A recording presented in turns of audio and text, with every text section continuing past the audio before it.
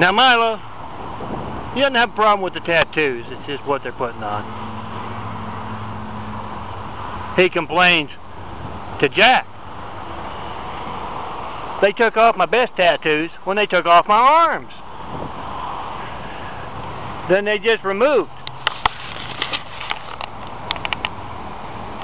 what I had on my chest to put these new ones in.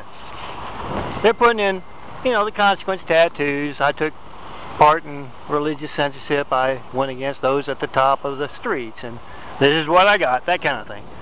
And they also use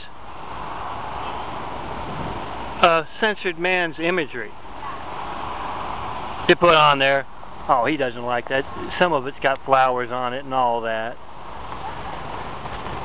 And uh, Jack says, oh, well, I hear they treat you a lot better once you get these on. You don't get time in the mean wing as much and all that. And that's true. You know, they do have it better.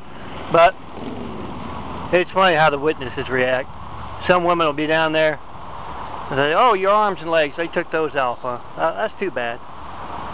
They made you get a tattoo. Oh, those beasts. How could they? Now, guys,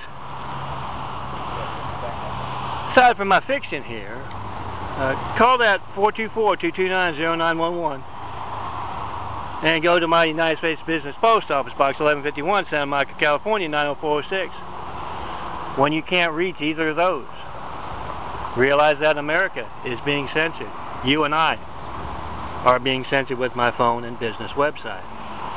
Then be a part of that domino network and realize, yeah, a lot of folks are needing to do a lot of rough street justice to a lot of mean people, speaking to them in a language they understand.